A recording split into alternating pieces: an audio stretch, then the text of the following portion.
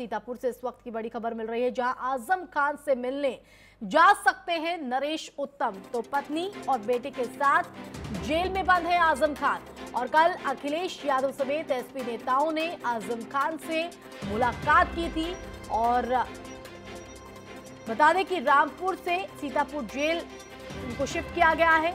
और अब अखिलेश यादव के बाद नरेश उत्तम आज़म खान से मिलने पहुँच सकते हैं। तो पत्नी और बेटे के साथ आज़म खान से मुलाकात। कल अखिलेश यादव समेत एसपी नेताओं ने आज़म खान के साथ मुलाकात की थी। तो सीतापुर से बड़ी खबर आपको बता रहे हैं, जहाँ पर आज़म खान से मिलने जा सकते हैं नरेश उत्तम। पत्नी और बेटे के साथ आज़म खान जेल में बंद है। रामपुर जेल से सीतापुर जेल उनको शिफ्ट किया गया है।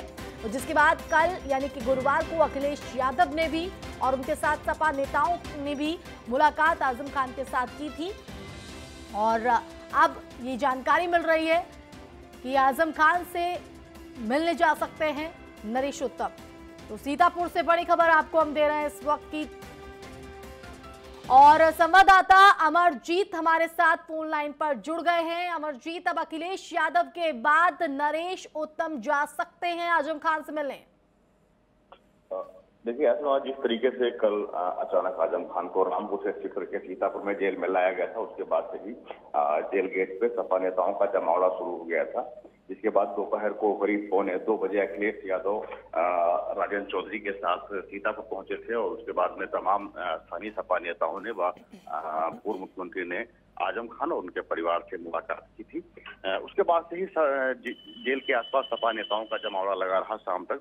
आज जो है आज सपा के प्रदेश अध्यक्ष नरेश उत्तम भी आज़म खान से मिलने सुबह दस बजे के पहुँचने की उम्मीद जताई जा रही है और इसके अतिरिक्त जो स्थानीय नेता, सपा नेता हैं, वो भी जेल के आसपास मौजूद हैं। संभावना है कि आज भी बड़ी मात्रा में सपा के नेता आज़म खान और उनके परिवार से मुलाकात करेंगे। तो सीतापुर शिफ्ट किए जाने के बाद सीतापुर जेल के आसपास और सीतापुर जेल में आने वाले सपा नेताओं की संख्या लगातार बढ़ती जा रही है।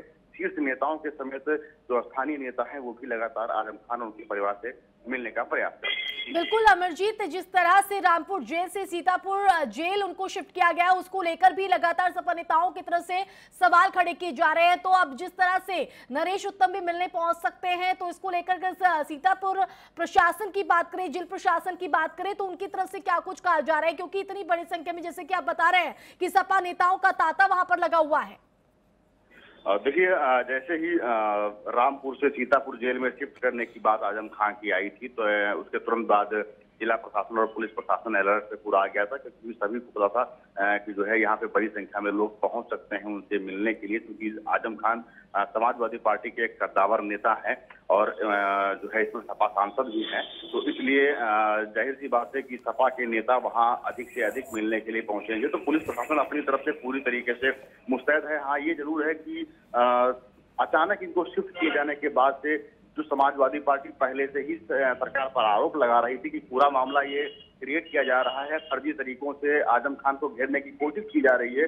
अचानक इनको यहाँ शिफ्ट किए जाने के बाद समाजवादी पार्टी के नेताओं के हमले और तेज हो गए थे कि बिना किसी सूचना के ऐसी कौन सी समस्या आ गई कि रामपुर की जेल आज़म खान की सुरक्षित नहीं बची और रामपुर से निकालकर वहाँ से इतनी दूर इनको सीतापुर शिफ्ट कर दिया गया है। तो कहीं न कहीं ये भी आरोप रहा है चलिए अमरजीत फ़िलहाल शुक्रिया आपका जुड़ने के लिए जानकारी देने के लिए।